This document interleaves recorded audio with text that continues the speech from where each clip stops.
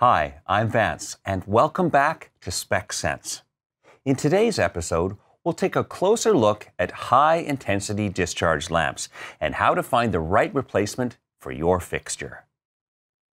HIDs create light by passing an electrical arc through an ionized gas.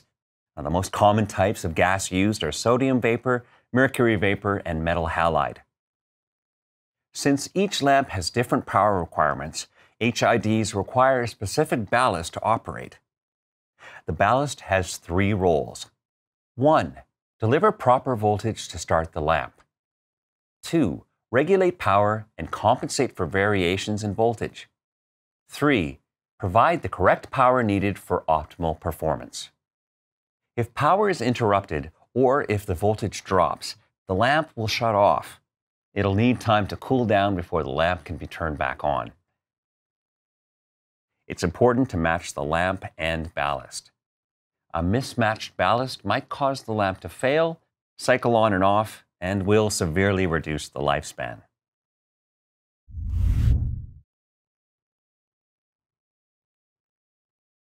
The easiest way of finding a proper replacement lamp is to match the ANSI ballast code. These codes are usually etched on the side of the lamp and ballast. For example, an S51 ballast will only work with an S51 lamp. Remember, even if you match the wattage, you can't use different types of lamps in any ballast. This means a 400 watt M59 metal halide lamp can't be used with a 400 watt S51 sodium vapor ballast. If you don't know the ANSI code, then you can still narrow down a replacement by matching the lamp type, lamp shape, base type, wattage, and the enclosure.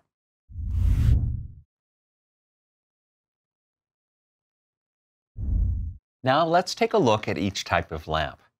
Sodium vapor lamps give off a distinct orange glow and are commonly used in street lamps and parking lots. High pressure sodium lamps have a discharge tube that is long and cylindrical, while low pressure sodium lamps have a U shaped tube. Mercury vapor lamps have a slightly bluish hue and are used in warehouses, street lamps, and landscape lighting. These lamps use a starting electrode which is connected to the rectangular discharge tube. Quartz metal halide lamps have a clean, white, high quality light and are used in stadiums and warehouses. Probe start lamps also use a starting electrode, which is connected to the rectangular discharge tube. Pulse start lamps use a ballast igniter and oval shaped tubes, making them incompatible with probe start ballasts. Ceramic metal halide are a special type of metal halide lamp. These lamps are usually smaller in size and have a superior light quality which makes them good for retail and grocery stores.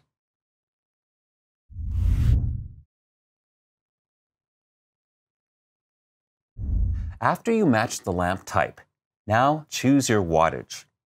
Then match the physical dimensions. All light bulbs have a code which describes the shape, size, and base type. Now, this code can be determined by a few measurements. The first part of this code is the lamp shape. Now, the most common shapes for HIDs are tubular, bulge tube, ellipsoidal, and ellipsoidal dimpled. Next, measure the width in inches. Now multiply that number by 8. And this gives you the lamp size. Now measure the base in millimeters. Most HID lamps use the E26 medium or E39 mogul bases.